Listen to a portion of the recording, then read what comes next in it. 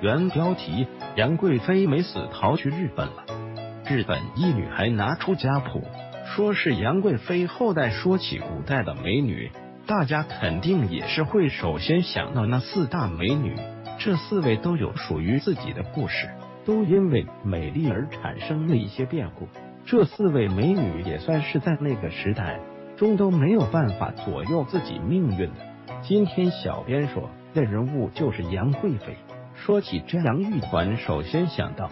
的就是与皇帝之间那令人心碎的爱情故事。杨贵妃没死，逃去日本了。日本一女孩拿出家谱，说是杨贵妃后代。安史之乱在那个时候忽然就爆发了，并且是一种来势汹汹的状态，并且在京城中的人是一点的风声都没有听到的。在那个阶段，是人人自危，都是环路安的不行。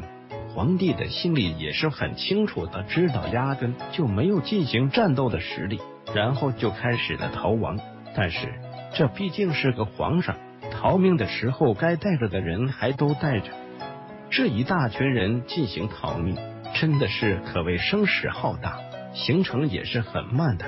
在这一行人刚刚到了百里之外的时候，马上就被后面的追兵被追赶上了。于是，在这里，杨玉环被处死了。我们也可以说，杨玉环是为了爱情甘愿去死。但是对于杨玉环死之后的时候，一直是有很多的说法，甚至还有很多的人在各种的蛛丝马迹中拼凑出他没死的猜想。真的是根据杨玉环硬生生的编出来了各种野史，这不同的版本说法不是也是不一样的。有的人说杨玉环流落成为了妓女，也有的人说是逃亡去了日本，等等各种的说法。但是说杨玉环流落成为了妓女这个故事，实在是太让人觉得匪夷所思了。这点是不可能的。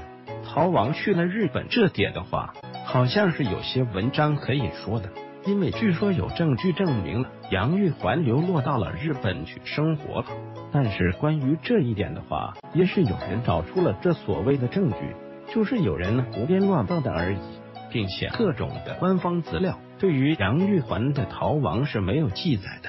但是有个日本的女孩拿出了自己的家谱，说自己是杨玉环的后代。